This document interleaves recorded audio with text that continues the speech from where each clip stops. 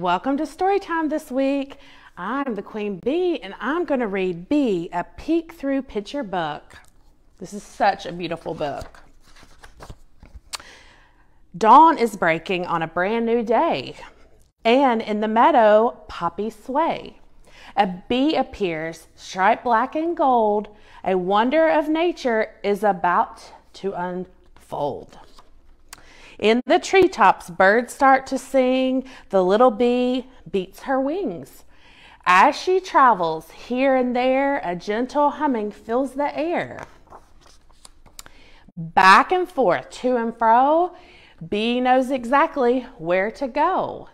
Visiting flowers of every hue, she has a special job to do. Gathering nectar as she goes, from every foxglove, every rose, dusty with pollen, the little bee buzzes, buzzes busily.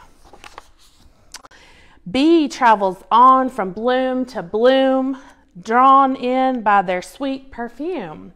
Harvesting flowers one by one, her compass is the midday sun.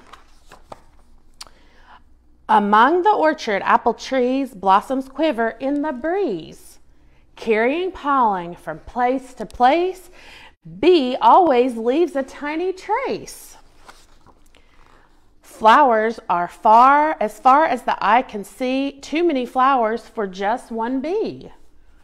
All of a sudden, Bee is gone. She has a message to pass on. Back at the hive, Bee spreads the news. There's work to be done, no time to lose. Listen for their gentle humming. The word is out, the bees are coming. Buzzing over the dense hedge hedgerows, past the pond where wild thyme grows, through the orchid's sweet smelling scent, the bee travels on with calm intent.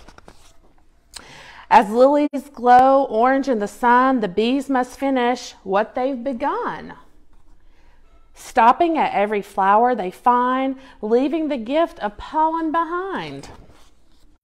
The bees pass over a woodland stream. Droplets sparkle and pebbles gleam. Water trickles, bubbles, and weaves.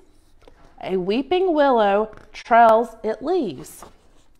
As the bee fly on through buds and burrs, a tiny miracle occurs. So many plants and flowers you see we're given life by one small bee. I hope you guys have enjoyed story time and we will see you next week.